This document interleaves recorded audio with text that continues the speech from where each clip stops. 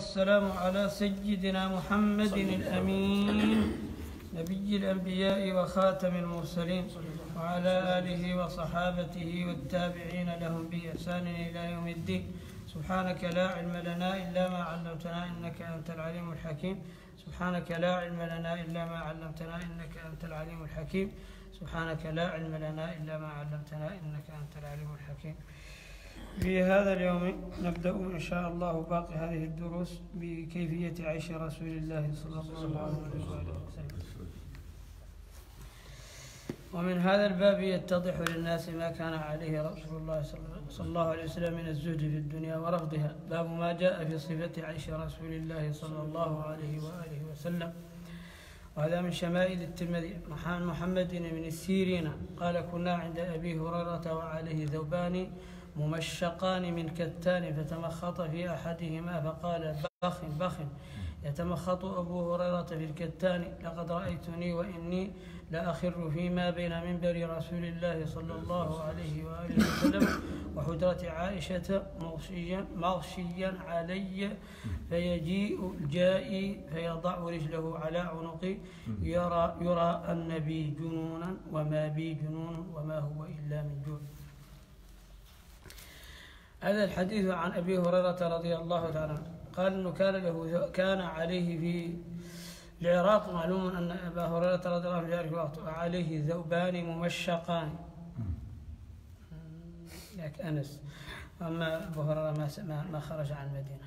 ما خرج أنس ولي خرج. ممشقان أي مصبوغان بالمشق. نعم بالمشق. بكسر منه وهو المغرة أي الطين الأحمر وثوب ممشق أي مصبوغ. قال باخ باخ يعني أنهما مصبوغان صبغا جميلا. من كتان معنى هذا القطن ما كان يوجد في المدينة. نعم. فتمخط في أحدهما.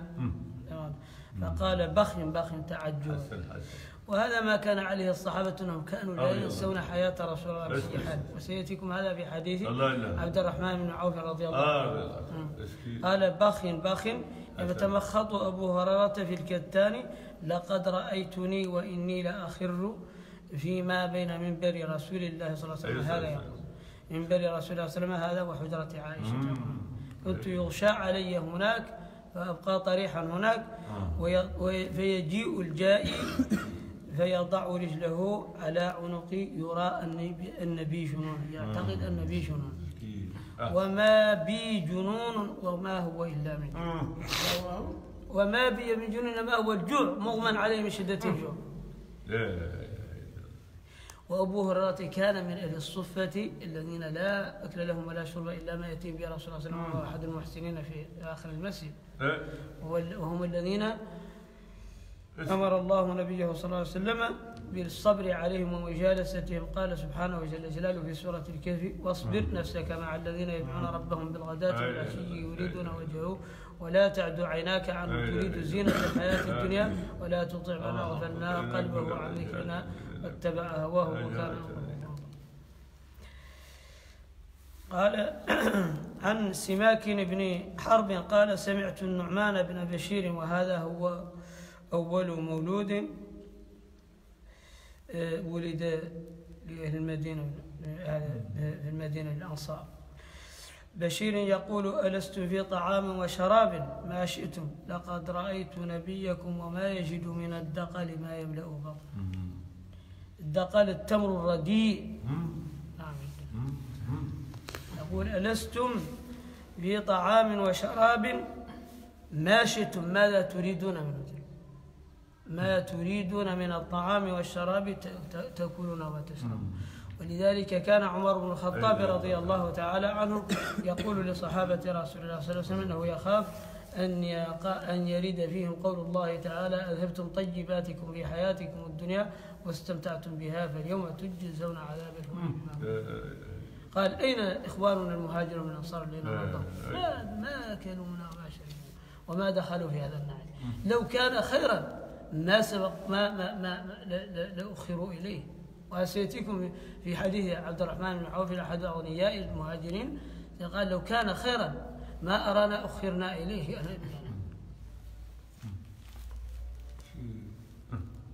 قال ألستم في طعام وشراب ما شئتم؟ لقد رأيت نبيكم صلى الله عليه وسلم وما يجد من الدقل ما يملأ بطن ما يجد من التمر الرديء ما يملأ بطن. هذا عن اختياره كما قلت لكم ماضيهم وراودته الجبال الشم من ذهب عن نفسه فأراها أيما شمم وأكد زهده فيها ضرورته.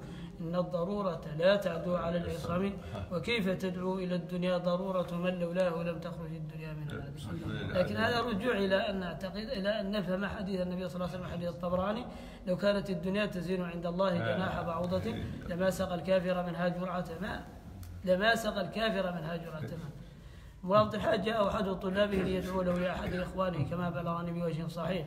ما هنا فقال ادعو الله لأخي أن أن يعطيه الله تعالى شيئا من الدنيا. فكرر عليه ابن بيت بن مهيب فقد زخارف هذه الدار لم تثني طرفه وهل هي إلا أقبر وجنائز فصار يكررها حتى كره المجلس. فقط هذا هو الجواب. زخارف هذه الدار لم تثني طرفه وهل هي إلا أقبر وجنائز أنت تريد الأقبر والجنائز ما سمعنا أحدا يبحث عن عن عن عن, عن الأقبر هذه الدنيا لا تزال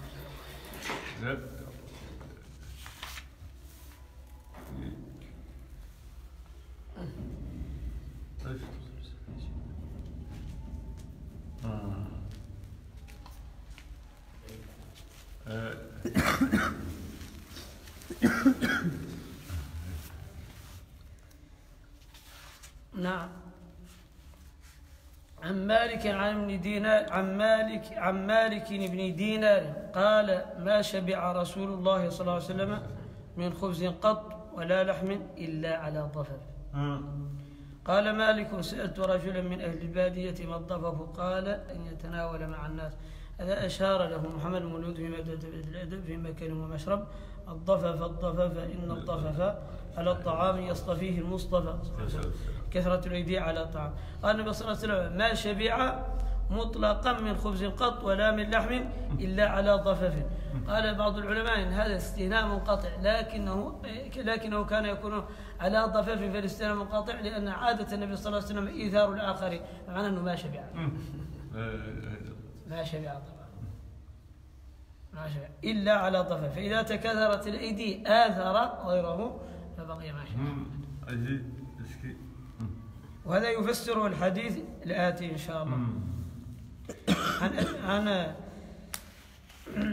حدثنا هارون بن إسحاق حدثنا عبدة عن هشام عن أبيه عن عائشة قالت إن كنا آل محمد. هذا منصوب على التخصيص يعني أخص آل محمد أو أعني آل محمد صلى الله عليه وسلم نمكث شهرا ما نستوقد بنار ما يوقد في بيت رسول الله صلى الله عليه وسلم. ما يوجد في هذا يمر عليهم الشهر والشهران ما يوقد ما ما نستوقد بنار إن هو إلا الماء والتمر. لا إله إلا الله. نعم.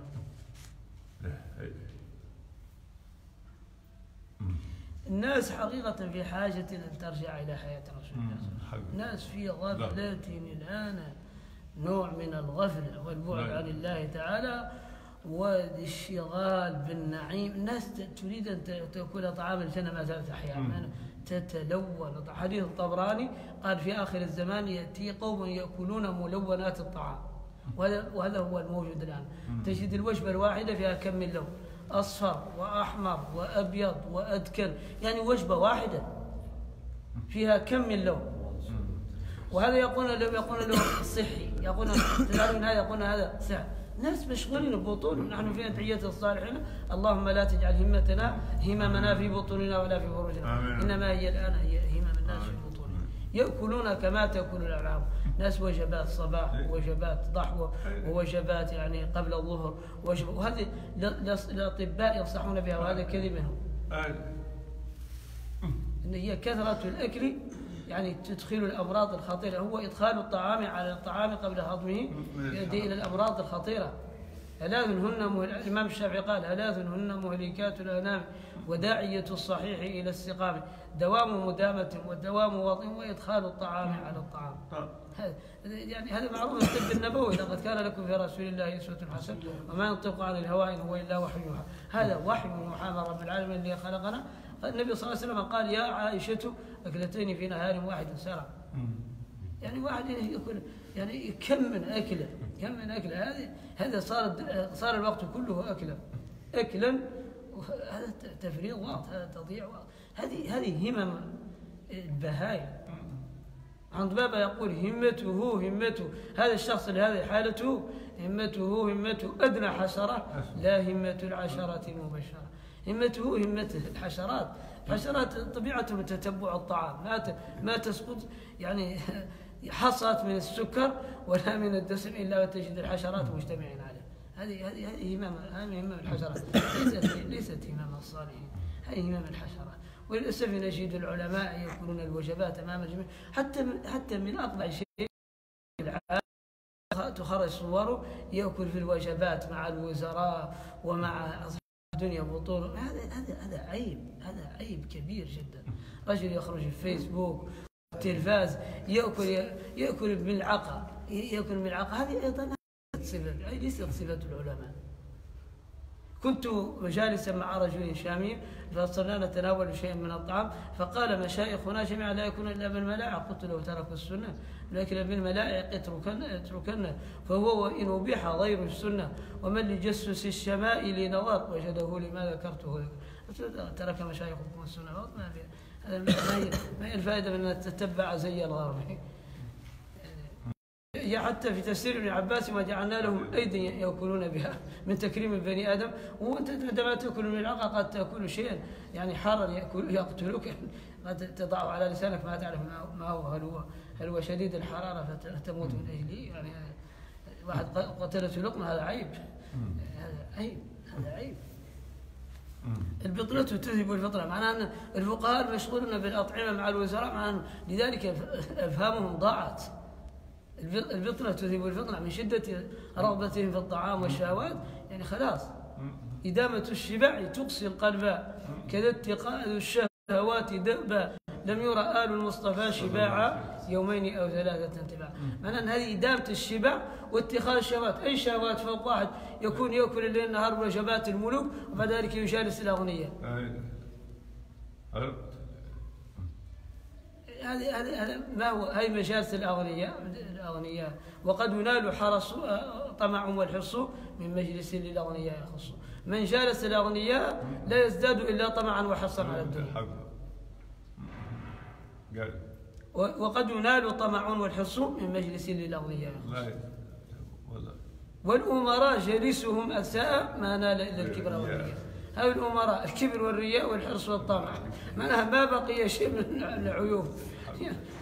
والأمراء جلسهم أساء ما نال إلا الكبر والرياء. ولذلك هم يجعلون حقيقة هم أنالهم أنالهم الكبر والرياء وزادهم بعد ذلك هم أذلهم. هم صاروا يتكبرون على الآخرين والأمراء يذلون العلماء أمام الجميع. يجلس هنا العلامة فلان أنا إذا قال لي واحد يجلس هنا أنا لست علامة لأنك أنت مأمور ولست آمرا ما هو معنى؟ يجلس هنا حضرتكم تجلس هنا. هذا مأمور. هذا مأمور ثوب سياسي. هذا دليل إن الملوك إذا دخلوا قرية أفسدوها وجعلوا عزة أهلها أذلة وكذلك يفعلون من رب العالمين وكذلك يفعلون هذا دأبهم ديدنهم الليل والنهار كذلك يفعلون. إذلال أعزة الناس وكذلك يفعلون. يعني يعدلوا لقمة يعني وتصوير هذا عيب عيب على العلماء يصوروا ويكونوا الطعام هذا عيب جدا عيب هي كان وجبات يتفاخر بها. أنا سمعتهم يتحدثون عن يتحدثون عن عن عن الطعام. جلست مع مجلس عربي كبير فيه ناس من شتى البلاد فصاروا يتحدثون عن الوجبات يحفظونها كما يحفظ المحدث واسانيد الحديث. يعرفون هذه الوجبة الفلانية. تعجبت قلت كيف هؤلاء الناس؟ يعني إلى درجة عالية في حفظ الوجبات. ما في وجبة إلا ويسمونها باسمها. وأنا بدوي لا أفهم لا أفهم أسماء هذه الوجبات وحتى لا يمكن أكلها لا يمكن. أنا قلت ضيعتم أفهامكم ضيعت ضيعتم أوقاتكم في حفظ الوجبات. هذا تضييع. لكن هذا ليس من تضييع الأوقات هذا من تكررها عليهم. لأنه يوميا يكون لها مرات فلذلك يكون التكرار يعلم الحمار أكرمكم الله. من الأشياء يوميا تتكرر على الإنسان ولو بليد يعني علم المشاهدة يوميا واحد يحفظه بدون اختيار يعني. واحد يحفظ الوجبات عيب على رجل يتكلم عن الوجبات أمام الجميع. ومرتاح يضحكون كل يمزح يا واحد أمام يقول والله سمعتم يقول زوجتي تطبخ الطبخة الفلانية. أحسن هذا عيب هذا عيب هذا عيب. أنا أنت تذكر هذا في المجالس. عيب. طباخة تقول طباخة وتعرف كم من تعرف كيفية الوجبة الفلانية وتضعها في مكانك. هذا هذا عيب. العرب يقولون فلان مضياف يعني إذا كان يريد واحد يفتخر يقول متى تأتينا تلمن بنا في ديارنا؟ تجد حطبا جزلا ونارا تأججا. وتأتينا تلمن بنا في ديارنا تجد خير نار عندها خير موقد عند الحطب الكثير من الذبائح ينبغي أن تقول زوجتي إذا كنت تفتخر مضيافة كم يأتيها من الناس إذا كنت صاحب رياء وفخر وكنت لكن واحد يقول كم تصنع لنا باليوم من وجبات؟ يعني تصنع لنا الوجبات الكثيرة وجزاء الله خيرا نعم جزاء الله خيرا لكن لا تذكره يعني. لا تحدث بما في البيت تفعله تحت الستور معك الزوجات مستترة كما قال الإمام الشافعي. هذا ما هذا عيب هذه أمور أكل أكل وشرب خاص. العائلة لا يتحدث به أمام الجميع. يعني هذا سرف هذا سرف حقيقة. لو كان في ذلك خير كما قال عبد الرحمن بن عوف ما أخرنا له. لو كان ذلك خيرا ما أخرنا له. أنت مشغول ببطنك يعني لا لا تتحدث به أمام الجميع.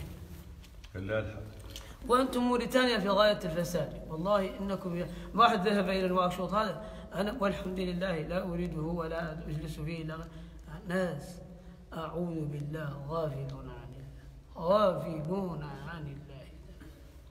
همهم الأكل والشرب والدنيا ليلا ونهارا والدنيا ولا أعتقد كيف إلا أنهم عاجزون ما زالوا يعني العجز فقط والحمد لله على عجزهم يعني لكن ما لم يتمنون فهم محرومون مع التمني.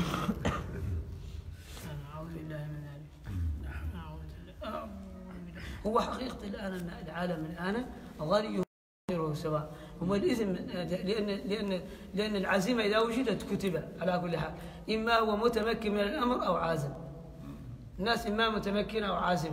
المتمكنون يفسدون في الأرض والعاجزون عندهم عزم كامل أنهم ولذلك نجد واحد كان عاجزا أمس فلما يصل إلى الدرجة فإذا هو يتجاوز الآخر 100% ما كان يمسكه إلا العجز. عاجز عازم فهو آثم أعوذ بالله محروم. مع العزم الكامل نيته الليل والنهار يتمنى ما يقع في ذلك المجرم. ذلك المجرم. يخطط الليل والنهار لذلك تجد الواحد هو الآن عندما يبني البنايه هذا بعد هذا موجود الآن عندنا. يبني البنايه وهو عاجز عن إكمالها. مشعول فيها باب لجراج الوقت الصغير وباب لهنالك وهذا مكان الصغير اذا وهذا مكان إذا كانت لدي وهذا سيكون في زمن طويل شيئا فشيئا الذين يسلم فهو عازم عزما كاملا أنه لا يبقي لذلك الذي قبله نوعا من الفساد إلا وتجاوزه. وعلمه الرماية كل يوم فلما اشتد ساعده رماني وعلمته رمى القوافي فلما قال قافية هجان. هذا يقول علمه علمه العوم فغمسه ثم ما شاء الله النية موجودة متكاملة. وإنما الأعمال بالنيات وإنما لكل امرئ ما ذلك مسرف على موجود له الحال. ميسر له الأمر. وهذا مسرف في في حقيقة مسرف بالقلب. عاجز عاجز بالفعل. ما بينهما إلا أن الأعمال بالنيات. وأعوذ بالله هو محروم. كما قال محمد مولود يا أغنياء أنفقوا يا الفقراء صبرا جميلا فاز من تصبر. لا يجتمع فقر الدنا وعدم نيل ثوابه غدا عليكم.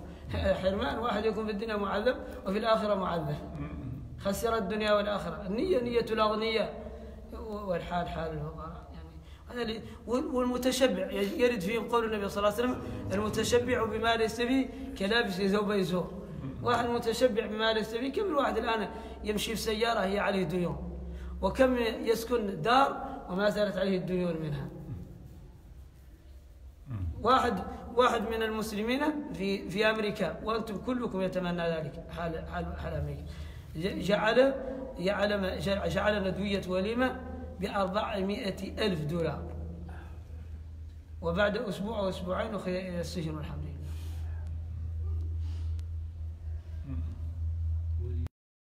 ولي أهم في ولائم الآن ألف دولار و200 ألف هذا و200 ألف وخمسين. هذا كثير يعني.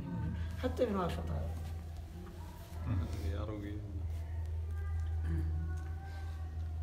يا هذا هو. كيفية عيش رسول الله صلى الله عليه وسلم حتى تروا الفرق بيننا وبين هؤلاء السلف الصالح.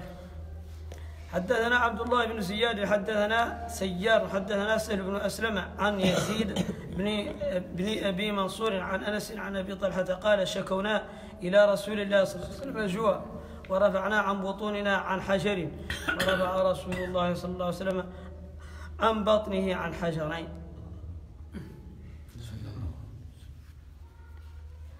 نعم. ثم شكوا إلى رسول الله صلى الله عليه وسلم الجوع فرفعوا عن بطونهم حجرا يريدون أن يكون يعني مقويا لبطونهم حتى لا تنعطف من شدة الجوع. فرفع رسول الله صلى الله عليه وسلم عن حجرين هذا كله عن اختيار منه صلى الله عليه وسلم. كله عن اختيار منه. كله عن ملك الجبال. حديث مسلم جاء إلى النبي صلى الله عليه وسلم قال نسيت أن أسير معك هذين الجبلين ذهبا جبال مكة هي تمشي معك ذهب تمشي معك حيث شئت حيث قلت وحيث نمت وحيث بت. تكون حولك ذهب فأعرض عنها. وراودته الجبال الشم من ذهب. الناس يعتقدون أن الإمام البوصيري رجلا مادحا وشعنه هذا. قيل لأن ناسا في موريتانيا قالوا ذلك ولقد كذبوا. فسليمان الجمل صاحب الفتوحات الإلهية التي هو من الذي هو من عدته أرسخ المفسرين. الإمام الشافعي لو رأيتم الأوصاف التي وصفه بها لتعجبتم من وصفه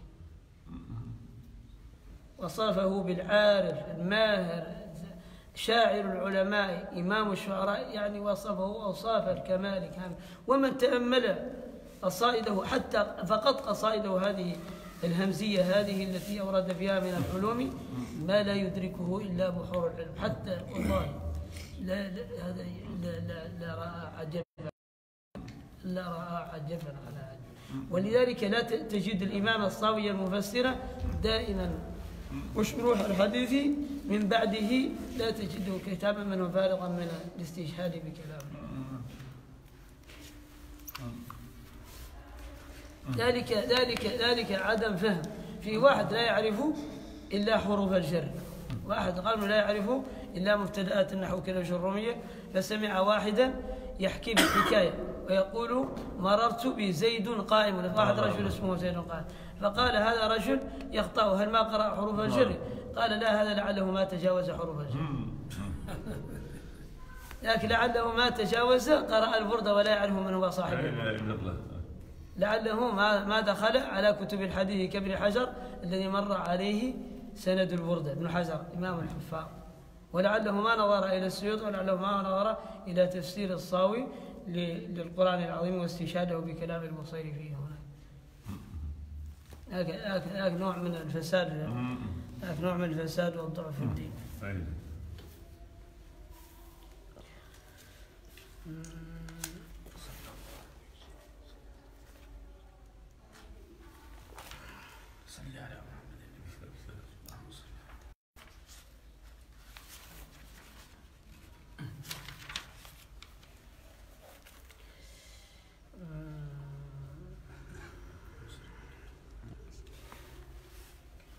عن أبي هريرة رضي الله عنه قال خرج رسول الله صلى الله عليه وسلم في ساعة لا يخرج فيها ليس معتادا أن يخرج فيها ولا يلقاه فيها أحد فأتاه أبو بكر فقال ما جاء بك يا أبا بكر؟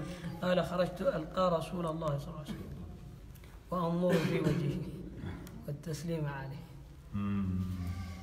فلم يلبث أن جاء عمر فقال ما جاء بك يا عمر؟ قال الجوع يا رسول الله صلى الله عليه وسلم. فقال النبي صلى الله عليه وسلم وأنا قد وجدت بعض ذلك. فانطلقوا إلى منزل أبي الهيثم بن التيهان رجل من الأنصار. الانصاري وكان رجلا كثير النخل والشاي ولم يكن له خدم. فلم يجدوه فقالوا لامرأته أين صاحبك؟ فقالت انطلق يستعذب لنا الماء يأتينا بماء عذب. فلم يلبثوا أن جاء أبو الهيثم بقربة يزعبها مملوءة وماء يتدافعها ويحملها لثقلها مملوءة ماء. فوضعها ثم جاء يلتزم النبي صلى الله عليه وسلم. يضمه إليه ويفديه بأبيه وأمه. فداك أبي وأمي يا رسول الله صلى الله عليه وسلم. ثم انطلق بهم إلى حديقته ماطا ثم انطلق إلى نخلته فجاء بقنو فوضعه فقال النبي صلى الله عليه وسلم أفلا تنقيت لنا من رطبه؟ فقال يا رسول الله صلى الله عليه وسلم إني أردت أن تخيروا أن تتخيروا أنتم. أو تختاروا من رطبه وبسره فأكلوا وشربوا من ذلك الماء. فقال النبي صلى الله عليه وسلم هذا والذي نفسي بيده من النعيم الذي تسألون عنه. لا إله هو ما لهم لا يأتي سيأتيك الحديث. رجل من الأنصار أتاه رسول الله صلى الله عليه وسلم يوم القيامة ظل بارد. ورطب طيب وماء بارد. هذا من النعيم الذي يسألون كم من النعيم؟ نحن الآن تأتي في أول الوجبة فقط التمر. أول الوجبة. هذا تمر هذا كان زياد هذا زياد ومعها الفواكه ومعها الماء هذا فقط الرطب قبل أن نبدأ في الذبيحة وقال هذا من النعيم الذي تسألون هذه هذا ما تقدمون قبل هذا ليس وجبة رئيسية. عندنا التمر فقط زيادة. زائدا زائدا لم يحس. خليل قال زائدا أحس هذا زائد إصبع زائد لا يحس.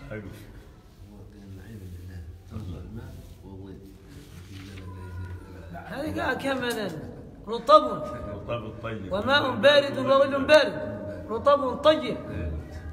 هذا قاعد نحن نتقلب فيه يوميا. يعني هذا هذا الطلاب العلم الآن اللي يحتاجون إلى الجهد يتقلبون فيه الليل رطب. هذا من النعيم الذي تسألون عنه يوم القيامة. ظل بارد ورطب طيب وماء بارد.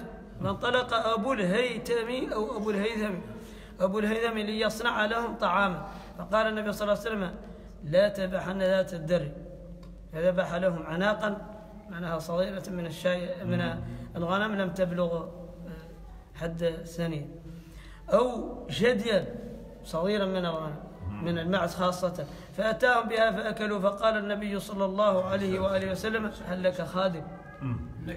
هل لك خادم؟ لأن قلنا ماضيا وما كان له خادم. النبي صلى الله عليه وسلم يشكر القليل ويجازي الكثير. هاي لابد أن تعلمون هؤلاء الأنصار يؤثرون على أنفسهم ولو كان بهم خصاصة. فذبح له عناقا أو جديا فأكلوا. فقال النبي صلى الله عليه وسلم هل خادم؟ قال لا.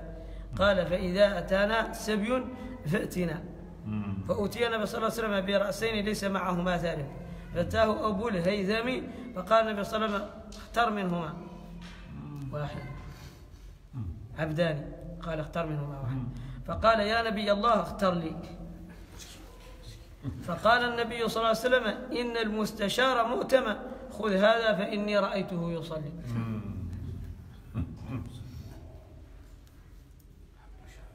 واستوصي به معروفا. اسمعوا النساء الصالحات ستأتيكم قصة مرأة صالحة حتى تعلموا ما يفعل النساء الصالحات مع الأزواج الطيبة. حضروا أذهانكم.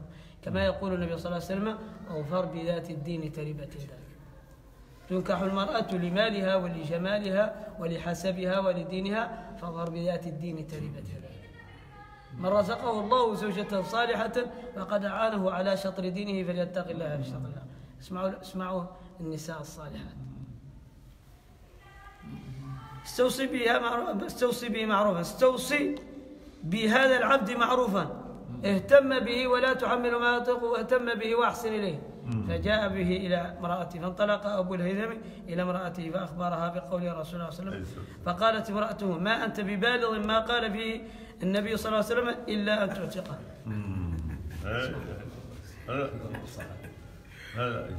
استوصي به خيرا. ماذا ستفعل؟ ستجعله يخدم وتعطيه الطعام والشراب. هذا واجب على كل عبد. هذا واجب لكل عبد. اسمعوا النساء الصالحات.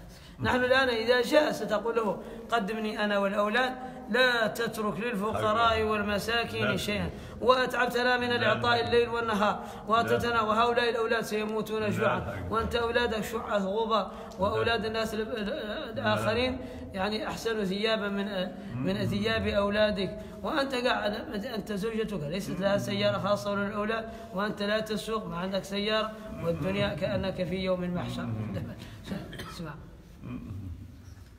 كان عتاب تعاتبك كأنها صارت تعتقد أنها رب العالمين تعاتبك. يعني كان عكست الموضوع قالت لو ما أنت ببالغ هذه كم من وصية رسول الله. إلا إذا اعتقد. اعتقد. اسمعوا. ها؟ معناها أن ما تقول اشت- ابتلي لنا عميلا واتنا بعبد ثاني. هذا لا يكفينا. اذهب إلى النبي صلى الله عليه وسلم مرة أخرى ولا يرد سائلا حتى تأتي بالعبد الآخر. آه. هذا هو هذا هو حرفة الإنسان.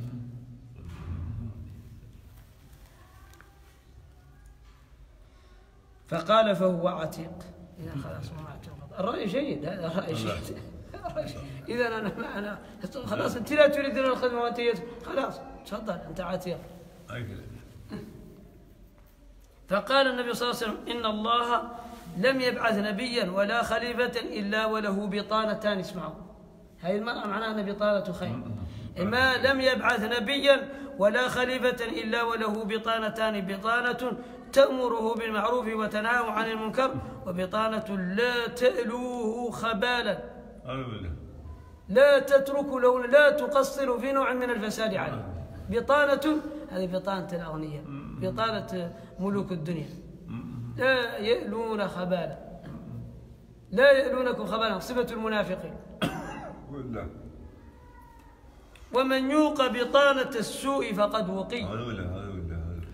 من حفظه الله تعالى من بطانة السوء فقد حفظه من الشر فقد وقي. من جالس جالس من جالس جالس هو النبي صلى الله عليه وسلم يقول المرء على دين خليله فلينظر أحدكم من يخالف والزوجه هي أخص الأصدقاء. فإذا كانت سيئة في الليل والنهار ولو أنك لا تسمع كلامها لابد أن تؤثر بشيء لابد أن تؤثر عليك بشيء لابد أن تؤثر عليك بشيء. لابد أن تؤثر عليك بشيء. الزوجة الصالحة خير كثير.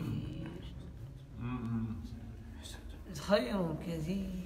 خير كثير. والزوجة السيئة هذه هذه أجارنا الله وإياكم صعب الوضع صعب.